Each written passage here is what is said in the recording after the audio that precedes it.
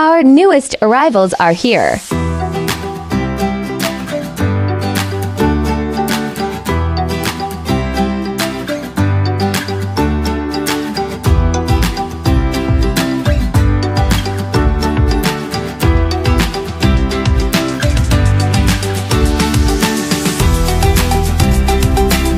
Come meet them today.